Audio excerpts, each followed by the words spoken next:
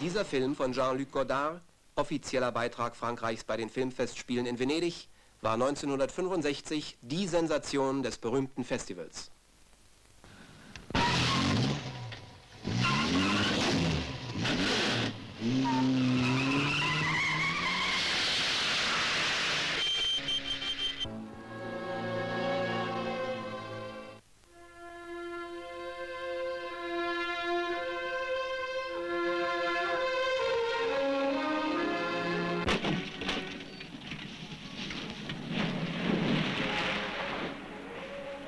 Der Farbfilm 11 Uhr nachts schlug wie eine Bombe ein und entfesselte die erregtesten Diskussionen.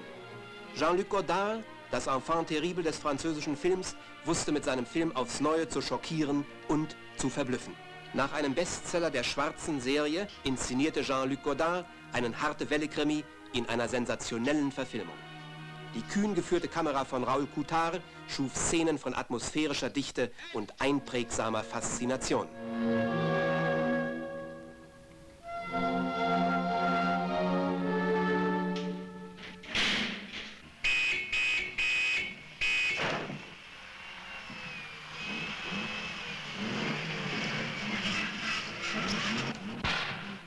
Schauspielerische Glanzleistungen charakterisieren diesen Film.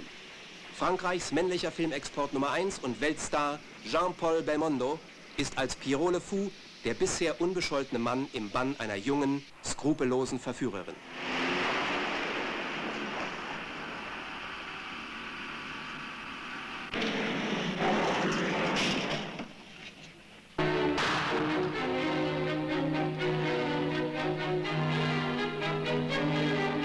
Anna Karina verkörpert sie.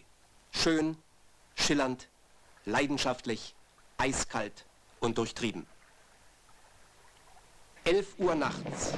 Das ist ein explosiver Action-Farbfilm, der zeigt, wie Menschen in den gefährlichen Sog verbrecherischer Machenschaften gerissen werden.